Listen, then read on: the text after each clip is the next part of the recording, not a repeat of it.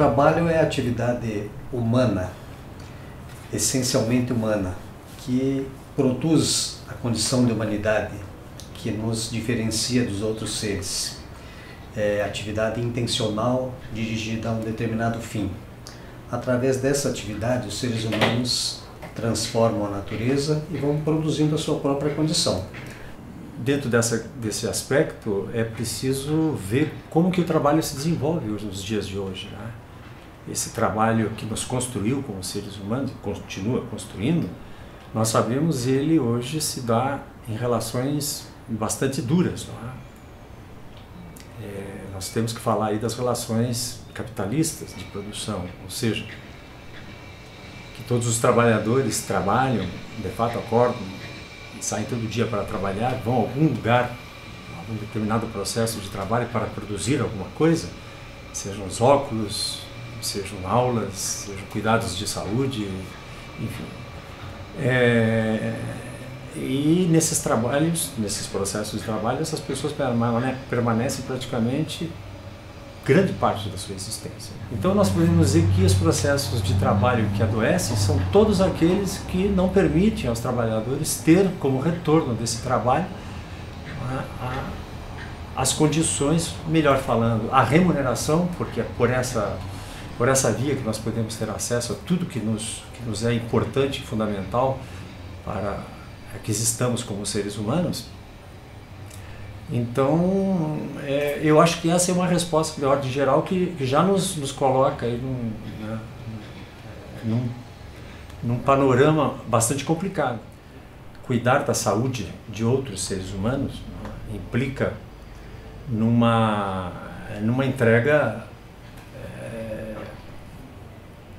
comprometedora daquele que cuida, né? ou seja, ele tem que estar bastante eh, qualificado para fazer esse trabalho, como todos os processos de trabalho, mas esse particularmente porque ele exige uma disponibilidade eh, do ponto de vista das vamos dizer assim das qualidades humanas que outros trabalhos eh, exigem menos eu diria trabalho na assistência à saúde, agora estou falando um pouquinho mais na assistência à doença, depois falaria da saúde, exige uma disponibilidade muito grande para a paciência, né? uma disponibilidade muito grande para a atenção, né?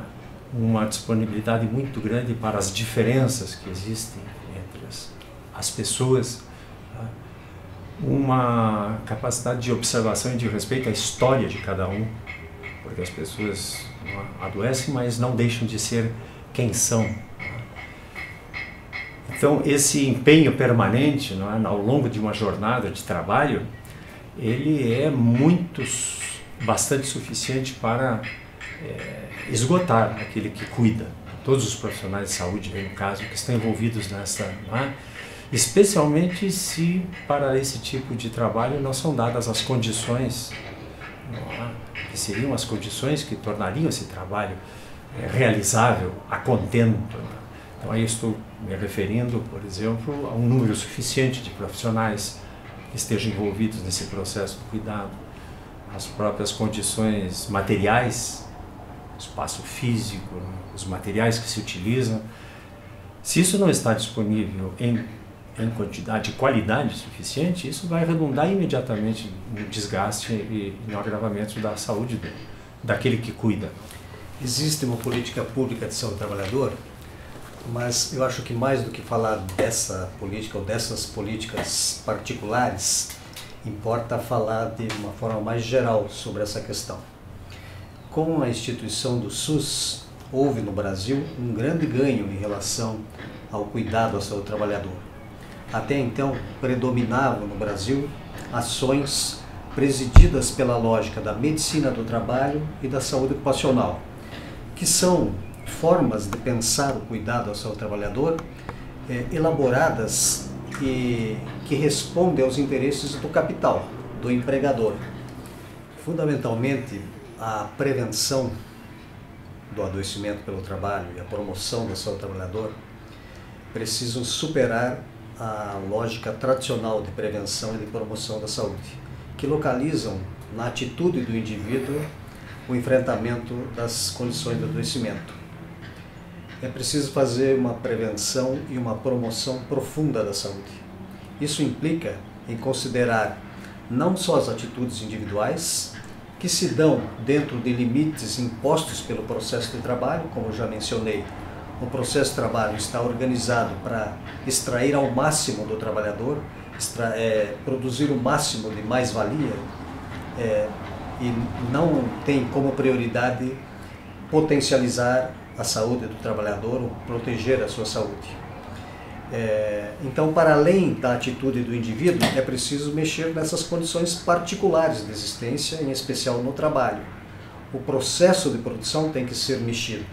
Se ele está organizado para explorar ao máximo o trabalhador e tudo mais está subordinado a isso, é nisso que tem que se mexer.